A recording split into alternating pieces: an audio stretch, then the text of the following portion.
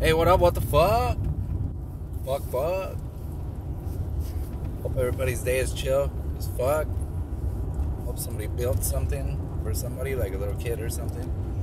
I, hey, I said this a long time ago on a video. Like my work would have me through some crazy, like some uh, questionable areas and stuff like that. But what I would do while I was not at work and all that, I'd prepare for being in those areas. And kind of, there's a video I seen yesterday that that shit had. You want to talk about shook? I was like, damn. Anyways, I seen this video and it kind of reminded me of some shit. Said it on a video like years ago or a year ago or I don't know how long ago it was, but it was over a year ago, I want to say. But uh, about when you prepare for certain things, like this is just an example of how shit could be changed. You know what I mean? Um, experienced it yesterday again too. Yesterday, a little bit like on how somebody tripped out because I was the one that stopped to help them out on the roadside. But uh, how I would prepare is I would stop if I had time after work. I would stop at like a skate shop or some shit like that, and uh, snatch up a skateboard. Or with skateboards that I would just run across, I would fix them up where they were sick as fuck, they were tight as fuck, and they were up to date. I'm not talking about like Target or Walmart bullshit. This is like the real deal shit. But anyways, the way I'd prepare for a day in a questionable neighborhood where like people are like concerned about even wearing bulletproof vests sometimes. Um, I would just roll around. I'd have skateboards in my truck, and if I passed a pack of what some people would say little thugs or little fucking, you know, just people literally will look at kids and think bad of them, you know, because they're making noise and they're doing all this shit. But anyways, uh, if people don't notice, I don't know in your community if it's like that, but in some areas and some counties and some states, they will fence off public land. They will close the public land to the people. Can't ride dirt bikes. You know, you'll see no skateboarding signs posted up, no skating signs, no whatever. Like just all this control on what somebody could do and what they can't do. Chopped out all after school programs. Fucking over 10 years ago, like 15, 20 years ago. I used to do all that. Fresh out of wherever. I used to volunteer my time to the youth after. Anyways, I would break off kids that, like, if there was that group of kids and a couple of them had skateboards and a couple didn't, I would break them off some skateboards. Just be like, here, fucking, but next week you better be able to ollie or else I'm gonna take that shit. And then you just follow up, you know what I mean? If you can, if you're back. If not, who cares? It's never gonna change that. That kid's gonna remember. Even if that kid got took for a skateboard later, he's never gonna forget that you hooked him up. It doesn't have to be a skateboard, it could be fucking anything having to do with that environment. You know what I mean? So, shit like that, but that's what I would do in a video I seen yesterday reminded me of that shit with that little five year old kid that got fucking domed, got shot in his head by his neighbor. That's some fucked up shit. Somebody dropped a video on. I had seen that video, the original video, like a while back, but just right when it said, What was I to do to stop this? I just turned it off because I didn't want to get pissed. And I should have watched the whole thing. But, uh, anyways, uh, look at this fool's not gonna let me over. Fucking get over. Anyways, uh, this uh so anyways that resident made a track and what i noticed with the first track outline i was thinking damn that'd be every week that dude should make it tighter and tighter and more turns and that's what he did. That shit was sick. So i was glad i seen that shit. But anyways now right now i just seen a video of the portland mayor and his uh his response to his house getting vandalized. Think, read his response on whatever fucking source you want to read it on. I don't give a fuck. I'm just saying, if you really take that response and what he said, why he needs to move, and why it wasn't good for him to stay in that neighborhood and what he was apologizing for, he literally says that they shouldn't be in fear because of his position right? think about that. He's trying to excuse himself and what he does for a living to his neighbors and thinking he said this shit out loud in public or commented it, whatever the fuck he did, typed it in, fucking piece of fucking shit. He is so disconnected from the people of his community that he thinks his job has nothing to do with them. Right? The motherfuckers in Portland, the shit they're doing has to do with motherfuckers all over, everywhere in the United States. I've been to Portland several times. I'm nowhere close to Portland. Thank God, and that too, God put me in a position I'm in to where I could go fucking wherever I gotta go, bro. You know what I mean? Not all the time, but when I needed to. You know what I mean? When it just, it, fuck. There was certain shit that has happened where when I seen it, I felt like a piece of shit. You know, there's a time in my life where you had to get up and you had to back your own. It wasn't because of hatred. It was because you had to do it. And then what I seen though, as I was doing it, I was like, you know what? This is right though. For this setting right now, what we're involved in, we gotta do this shit, you know. And it was because we were like fucking six. One of the dorms I was in, one of the the holding facilities I was in, we were like six, six white boys. One of them was all fucking just zipped up, fucking bolts on his neck, fucking hardcore white powerful, right? Been to prison a bunch of times. He knows exactly how to politic, right? So I walk in after already getting in a scuffle with this dude that happened to be at my wedding a little bit before this time of incarceration, and me and my boy rolled that fool up at the wedding because he was talking all this hateful shit. But anyways, he happened to be busted, and he was the numbered. He was a numbered crew over there. That shit was fucked up. But, anyways, so I roll into my shit, and it's that that one fool that obviously is a shot caller fool. Then there's two of the white dudes were like computer fraud nerd type guys that they weren't gonna fucking go down for shit you know? And it wasn't because, oh, I just assumed that because what they were, because nerds are fucking nuts, bro. Once a nerd lets loose and realizes the amount of fucking energy and fucking devastation they can create, it is a wrap. They're some of the most devastating, violent motherfuckers I've ever met. But, anyways, so it was those two. Then there was another two, and by six, I mean me. I'm the sixth one. So there was the two that were in there for like some white collar crimes, two that were mixed, and they, they were trying not to politic at the time. One of them handed me a little piece though, so that was fucking tight. But I had already, during the processing portion of this story, I was already going through some shit with some of these dudes, and they were they were the they're the fucking boss. Not were they still are. That's shit. A lot of them are down as fuck, you know and they, they have to politic too and there's a certain way of life if you make choices in your life regardless if it's you're actually doing stuff that is not good or you surround yourself with the people that are not doing good uh, you have to be prepared for those consequences and because of the way i tried to thread through where i was at during this point in my life i seen a lot of the good out of a lot of these people that were just thrown to the side and people think are bad. But anyways, uh, so I get in there and I tell this fucking hardcore fucking convict ass fool that he's he's the man, right? He's he's the leader. And I tell him, hey bro, uh, shit's about to go down with these fools. You need to get up, get ready, because he was laying on the bed, and I think he was probably going through withdrawals or some shit. And he just like kind of looked at me I was, this was like the probably four days after my 18th birthday, and then uh, this was like in his 30s and shaped like a motherfucker, like he was a soldier. You know what I mean?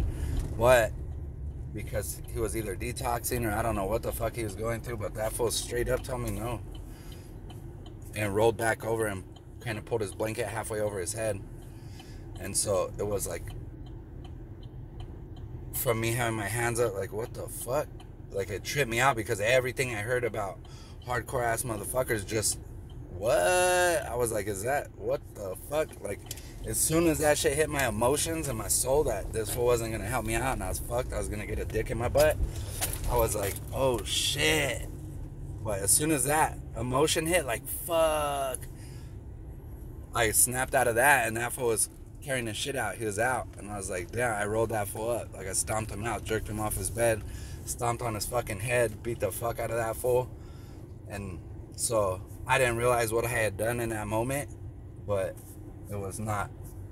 I don't think the situation. I don't think the situ- situation was any better. It. Some people say it was a little better because. I, I don't know. I guess I was exercising my abilities. I guess you could say. But anyways, there's a certain thing this that I seen happen in Portland that was just like, oh hell no, and it wasn't because I've been going to Portland not a lot, but a little bit under the guise of other stuff that just out of the blue, as soon as all that bullshit started cracking in Portland, it just so happened to be I had to go out there for other reasons. So I was like, damn, if this is not like a it started bothering me, and then all of a sudden, all this shit's coming in where I got to go to Portland. So I was like, this has got to be meant to be, and it's time to jerk that motherfucker up out of his bunk and fucking stomp him out. So I was like, fuck it. And even times I rolled up straight up, fitting in with that crowd, and I just get motherfuckers like real quietly when I get real loud and active. I just like 10, 15, 20 fools would just be out. You know what I mean? And it was the easiest fucking thing in the world. But that Portland mayor just released some bullshit saying about how his fucking job he apologizes some bullshit go look it up i'm not gonna fucking recite that because this shit is pissing me off this motherfucking politician this dude in a position of leadership thinks that his job He's apologizing for his job impacting when them when it shouldn't. He said that. He said that. That's not nothing you could lie about. That's not nothing you could do. That was just an accidental slip where this motherfucker really thinks that his job doesn't impact his community and it shouldn't. He thinks he can move away from that. So, anybody that sees it differently or can straighten me out just because I'm a fucking retard and I don't have an education or I seem like my IQ is low or whatever, leave a comment. Don't call me a fucking idiot. Just leave a comment telling me why I'm wrong. That's it. You know what I mean? That's stupid. You make yourself look dumb as fuck if you just leave a comment. Even if you don't like what I'm saying or you don't like me, fuck that. I don't care. I'll respect that shit if you come out. This dude came out and asked me why I'm all up in somebody else's business the other day. Like he straight to the point, boom, boom, boom, and he dropped it down and told me what's up, and he felt that I shouldn't be up in this dude's business, and he that I got nothing against that dude. That's tight as fuck that he would say it the way he said it. You know what I mean? So I just don't understand. I wasn't even gonna do anything today. I'm trying to fucking not do shit. But that's just weird to me. It's just evident. It's 100% evident. If people can't already understand that your leadership on any side does not fucking relate to you, then comments like that could be dropped by the Portland mayor saying that he needs to move and he apologizes that it's his job is affecting the neighborhood that he lives in. Where the fuck is he going to move to? And why does he think that his job doesn't shouldn't impact. What the fuck kind of thinking is that? Somebody tell me, please, because that's fucking weird. And if nobody else sees that, that is fucking weird, bro. Like I'm just gonna, you know, I'm just gonna fucking jack off all day and fucking fuck all day, eat food all day, and fucking, because if the majority of people do not understand that that is a huge fucking problem with why we're at where we're at right now they want to talk about divisive. Our leadership at all levels, dude, is so disconnected from the public. It's fucking retarded. And they look at us like something other than what they are. Those motherfuckers are supposed to represent us. I don't give a fuck if you're black. I don't give a fuck if you're white, if you're Asian, if you just got here and you got no papers. You're here. You're part of this American way. And all those people hating on immigrants, bro, that's just another motherfucking lie that is told to you by your politicians because they're so motherfucking corrupt that they need to keep continuously finding new ways to get fucking money or explain where money's going. I know a shit. I know fucking. I've been around millions and millions of fucking immigrants. Not, I don't know about millions and millions, but they've been around me my whole life. I ain't never been attacked by them. I ain't never got their dick up in my butt. They didn't rape me. Oh fuck! When I was three, four, five, six, seven, eight, nine, ten years old, I was running around nothing but immigrants. Not one tried to put their dick in my hand. I had a white motherfucker that tried to do that shit.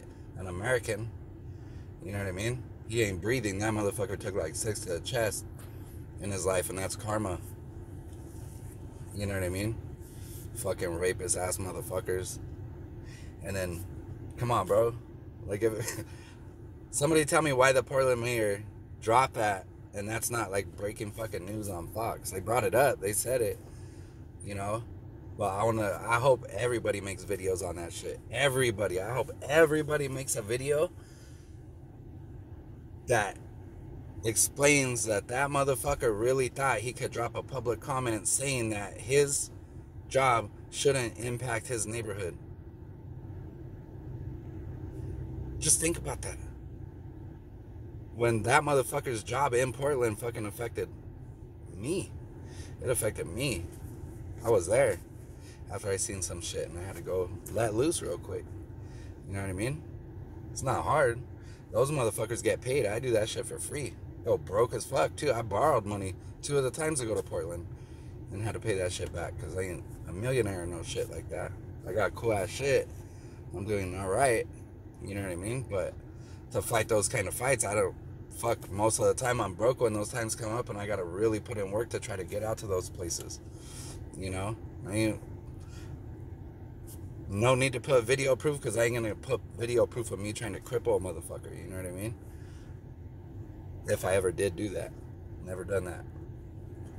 So, yeah, just fucking, dude, just look at that news break where look at the government's the government the mayor of Portland's response as to why he's moving and his apology to the neighborhood that shit just fucking tripped me out. So I thought I'd throw that motherfucker in here, motherfucker in here.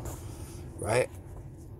So I'm gonna try to split it up and then drop some how to videos, but I need to find something to work on to drop how to videos. Or if there's something that's fucking with you and it's broken and you need to know how to fix that shit, most of the time I can fix anything. For some reason. I think it's probably got to do with the fact that I've worked since I was like 13 or 14 and uh, I've had almost any kind of job out there. Pretty much anything. Pretty much anything. So, not well educated scholastically, but I know a little bit about a little bit of things. But yeah, look at the mayor of Portland's response to when they went and fucked his house up.